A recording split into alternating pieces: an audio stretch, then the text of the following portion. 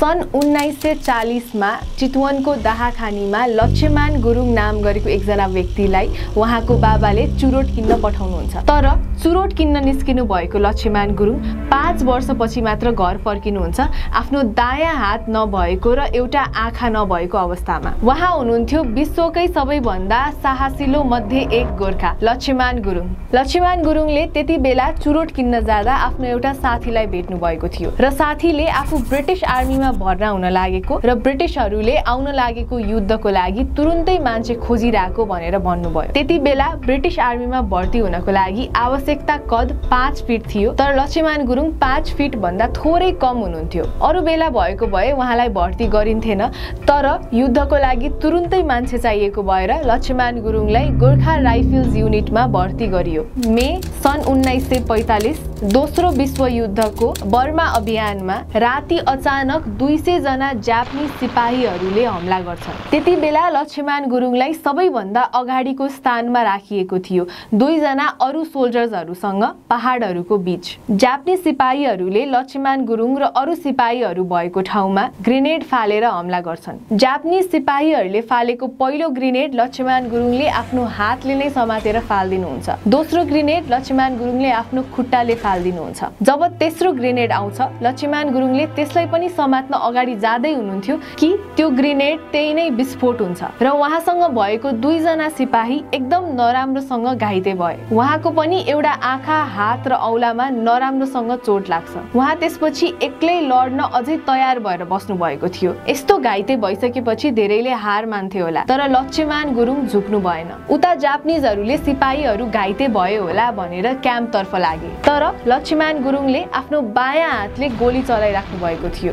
उहाँले गोली चलाउने र रिलोड गर्ने पनि आफ्नो बायाँ हातले नै गरिराख्नु भएको थियो। किनकि उहाँले आफ्नो दायाँ हात गुमाइसक्नु भएको थियो। जब जापानिजहरूले उताबाट हमला गरेको गरेथे तब लक्ष्यमान गुरुङले चिच्चाएर जापानिज सोल्जर्सहरूलाई भन्नुहुन्छ कम फाइट अ गोर्खा। उहाँले चार घन्टासम्म त्यो अवस्थामा बसेर जापानिज सिपाहीहरूसँग लडिराख्नु भएको थियो। र त्यो युद्धमा कुल एकतिस जना जापानिज सिपाहीहरूलाई लक्ष्यमान गुरुङले आफैले नै मार्नु भएको थियो र जापानिजहरूको यो हमला असफल भयो लक्ष्यमान गुरुङले गर्दा। त्यसपछि उहाँलाई भारतमा भिक्टोरिया क्रसको पुरस्कारले सम्मान गरियो। जुन चाहिँ सबैभन्दा उच्च र प्रतिष्ठित पुरस्कार मानिन्छ बहादुरीको लागि। तर लक्ष्यमान गुरुङले आफ्नो धेरै जस्तो जिन्दगी गरिबीमै बिताउनु भयो। उहाँ विकट ठाउँमा बस्नुहुन्थ्यो त्यसैले उहाँलाई आफ्नो मासिक पेन्सन पनि उठाउन गाह्रो थियो। तर सन् उन्नाइस सय नब्बेमा ब्रिटिस एड सङ्गठनले उहाँलाई एउटा घर बनाइदिएको थियो। उहाँ एउटा भुपु गोर्खा भएर ब्रिटेन पनि यात्रा गरिराख्नुहुन्थ्यो। आफूले पाएको भिक्टोरिया क्रसको पुरस्कार गर्वको साथ लगाएर मिटिङ्सहरूमा पनि जानुहुन्थ्यो। सन् दुई हजार आठमा लक्ष्यमान गुरुङ लन्डन सर्नुभयो। तर सन् दुई हजार दस जब उहाँ तिरानब्बे वर्षको हुनुहुन्थ्यो उहाँको निधन भयो। जसले दोस्रो विश्वयुद्धमा यत्रो ठुलो योगदान दिनुभएको थियो उहाँको बारेमा धेरैलाई थाहा पनि छैन। र बर्मा अभियानलाई द फर्गटन वार यानि कि बिर्सिएको युद्ध पनि भनिन्छ। किनकि दोस्रो विश्वयुद्धको प्रमुख घटनाहरूको बारेमा कुरा गर्दा धेरैले बर्मा अभियानमा भएको यो युद्धको बारेमा कुरै गर्दैनन्। लक्ष्मीमान गुरुङले भन्नुभएको थियो कि मलाई लागेको थियो म आज मर्छु। तर मलाई मर्नु नै छ भने म आफ्नो खुट्टामा उभिएर मर्छु। लक्ष्मीमान गुरुङ जस्तै अरू पनि धेरै निडर र साहसिलो गोर्खालीहरू छन्। दोस्रो विश्वयुद्धको बेलामा हिटलरले पनि मसँग गोर्खा सिपाही भएको भए मैले यो पुरै दुनियाँ नै जित्न सक्थेँ भनेर भन्नुभएको थियो। ब्रिटिस आर्मी अफिसरले भन्नुभएको थियो कि अरू आर्मीहरूलाई होच्याउन खोजेको त होइन तर सबै कुरामा गोर्खाहरू अब्बल छन्। स्वास्थ्यदेखि लिएर अनुशासन यो सबै कुरामा गोर्खाहरू धेरै अगाडि छन्। प्रिन्स ह्यारीले पनि आफू गोर्खासँग हुनु भनेको सबैभन्दा सुरक्षित ठाउँमा हुनु हो भनेर भन्नुभएको थियो। अर्को साहसी गोर्खा र पहिलो गोर्खा जसले भिक्टोरिया क्रसको पुरस्कार पाउनु भएको थियो उहाँ हुनुहुन्थ्यो कुलवीर थापा। सन् उन्नाइस सय पन्ध्र ब्रिटेन जर्मनको युद्धमा कुलवीर थापा आफै घाइते हुनुहुन्थ्यो तर उहाँले एकदम गम्भीर अवस्थामा भएको अर्को सिपाहीलाई देख्नुभयो। अरूले पहिला आफूलाई बचाउ भन्दा पनि कुलवीर थापा त्यो सिपाहीहरूसँग त्यो दिन र रात नै बस्नुभयो। र बिहान उहाँले त्यो सिपाहीलाई बोकेर जर्मन वायरको बाहिर सुरक्षित ठाउँमा लिएर आउनुभयो। र फेरि फिर्ता गएर घाइते भएको दुईजना गोर्खा सिपाहीहरूलाई लिएर आउनुभयो। त्यसपछि उहाँले अर्को घाइते भएको ब्रिटिस सिपाहीलाई पनि लिएर आउनुभयो। आफ्नो ज्यानको पर्वाह नगरी। उहाँको सम्झनामा युकेमा एउटा स्मारक पनि बनाइएको छ। गोर्खाहरू ब्रिटिस आर्मीमै किन भर्ती हुन्छन् त? गोर्खा र ब्रिटिस मिलिटरीको सम्बन्ध दुई सय वर्ष पुरानो छ। एङ्ग्लो नेप्लिज युद्धको बेलामा ब्रिटिसहरूले गोर्खाली सिपाहीको बहादुरी देखेर धेरै प्रभावित भएका थिए र त्यति बेला नै उनीहरूले गोर्खालीहरूलाई भर्ती गर्ने सोचिसकेका थिए। त्यसरी ब्रिटेन र गोर्खाको सम्बन्ध बढ्दै गयो र अहिलेसम्म छब्बिसजना गोर्खालीहरूले भिक्टोरिया क्रसको पुरस्कार पाइसकेका छन्। गोर्खालीहरूलाई विश्वकै सबैभन्दा साहसी मानिन्छ र यो कुरा लक्ष्मीमान गुरुङ र कुलवीर थापा जस्तो मान्छेहरूले साबित पनि गर्नुभएको छ। तर गोर्खाहरू को हुन् त? वास्तवमा गोर्खा भनिन्छ कि गोर्खा? गोर्खाहरू नेपालको हिमाली क्षेत्रबाट आउने गर्छन् जो आठौँ शताब्दीको गुरु गोरखनाथको हिन्दू योद्धाहरूसँग सम्बन्धित थिए। गोर्खा र गोर्खा यो दुइटै शब्द गोर्खा राज्यबाट आएको थियो जसको नाम हिन्दू योद्धा गुरु गोरखनाथकै नामबाट राखिएको थियो। गुरु गोरखनाथको नाम पनि गोरक्षा शब्दबाट प्रभावित थियो। गो मतलब गाई र रक्षा मतलब बचाउनु र पछि रक्षालाई रखा बनाएर गोरखा बनाइएको थियो।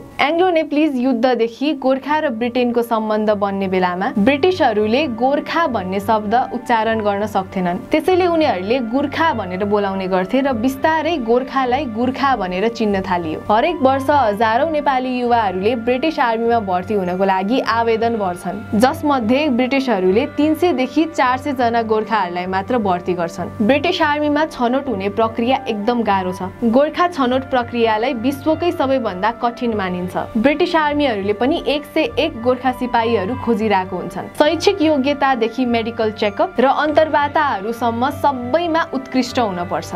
शारीरिक परीक्षा जस्तै डोकोमा बालुवा बोकेर पहाड चढ्ने दुई मिनट तिस सेकेन्डसम्म आठ सय मिटर दौडिनु पर्ने र अरू धेरै कठिन परीक्षाहरू हुन्छ। तर ब्रिटिस आर्मीमा भर्ती हुनुको फाइदा गोर्खाहरूलाई धेरै हुन्छ। त्यसैले गर्दा पनि धेरैको लागि ब्रिटिस आर्मीमा भर्ती हुनु भनेको एउटा ठुलो सपना पुरा भएको जस्तो हुन्छ। ब्रिटिस गोर्खालाई राम्रो तलबको साथ ब्रिटिस नागरिकता पनि दिन्छ। स्वास्थ्य बिमा भुक्तान बिदा रिटायरमेन्ट पेन्सन जस्तो अरू धेरै सुविधाहरू पनि हुन्छ। र ब्रिटिस नागरिकता पाएको चार वर्षपछि उनीहरूले आफ्नो परिवारलाई पनि युके लिएर आउन पाउँछन्। अब कुरा गरौँ गोर्खालीहरूलाई किन विश्वकै सबैभन्दा साहसी सिपाही मानिन्छ र उनीहरूको ब्रिटिस आर्मीमा भर्ती हुनुको पछि मुख्य उद्देश्य के हुन्छ? पहिलो त गोर्खालीहरू एकदम निडर हुन्छन्।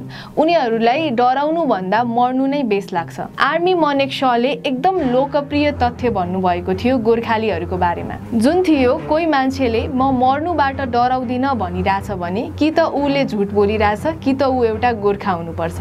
अर्को कुरा गोर्खाहरू एकदम समर्पित हुन्छन्। गोर्खाहरू कति वफादार हुन्छ भनेर हामीले कुलवीर थापाकै उदाहरण लिन सक्छौँ। आफ्नो ज्यानको पर्वाह नगरी उहाँले अरू सिपाहीहरूलाई बचाउनु भयो। अर्को कारण हुन सक्छ जीवनशैली। धेरै जसो गोर्खाहरू नेपालको उच्च हिमाली भागबाट आउने गर्छन्। त्यताको जीवन कति गाह्रो छ यो हामी सबैलाई थाहा नै छ। जरुरी सामानहरूदेखि लिएर धेरै थरीको खानेकुराहरू पाउन पनि गाह्रो छ। त्यहाँको मान्छेहरूले कृषिलाई नै आफ्नो पेसा बनाएको हुन्छ। भारी सामान तलमाथि गर्ने र टाढा टाढासम्म हिँडेर जाने त उनीहरूको दैनिकी हुन्छ। र उनीहरूले एकदम विषादी रहित खानेकुराहरू मात्र खान्छन्। उनीहरूको रेड ब्लड सेल पनि भारी मात्रामा हुन्छ। जसले गर्दा उनीहरूसँग थप शक्ति र बढी सहन शक्ति हुन्छ। त्यसैले पनि गोर्खाहरू अरू सिपाही भन्दा शारीरिक रूपमा बलियो हुन्छन्। गोर्खाहरू आफ्नो बहादुरी र फाइदाहरूले गर्दा मात्र ब्रिटिस आर्मी जोइन गर्छन् त। गोर्खाहरू ब्रिटिस आर्मीमा भर्ती हुनुको प्रमुख कारण मध्ये एक हो पारिवारिक अवस्था। धेरैजनाको माथि पारिवारिक दबाव पनि हुन्छ। विशेष गरी विगत ठाउँतिर धेरैको पारिवारिक अवस्था त्यति राम्रो हुँदैन र ब्रिटिस आर्मीमा भर्ती भयो भने आफ्नो र आफ्नो पुरै परिवारको भविष्य नै राम्रो हुन्छ। ब्रिटिस आर्मीले उन्नाइसदेखि एक्काइस वर्षसम्मको युवाहरूलाई लिन्छ। त्यसैले धेरैले आफ्नो किशोर अवस्थामै यानि कि बाह्रदेखि अठार वर्षको बिचमै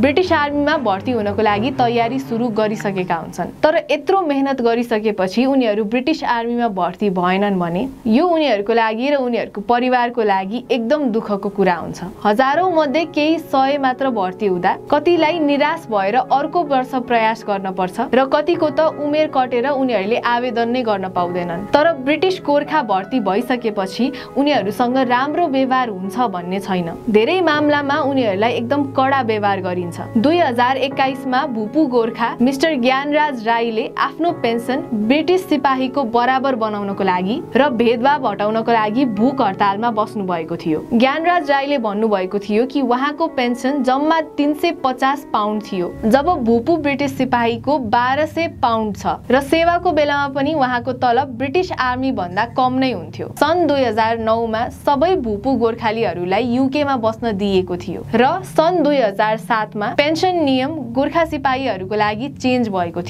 गोर्खा सिपाहीलाई ब्रिटिस सिपाहीकै बराबर पेन्सन दिने भनिएको थियो। तर ब्रिटिस गोर्खा वेलफेयर सोसाइटीले जो सन् उन्नाइस सय सन्तानब्बे भन्दा पहिला रिटायर्ड भएका थिए, उनीहरूलाई यो नियम लागू हुँदैन भनियो। तपाईँहरूलाई के लाग्छ? गोर्खाहरू ब्रिटिस आर्मीमा भर्ती हुनु पछाडि हाम्रो देशको पनि केही कमी छ? भिडियो मन परेमा लाइक गरिदिनु होला र नयाँ भिडियोको लागि सब्सक्राइब गरिदिनु होला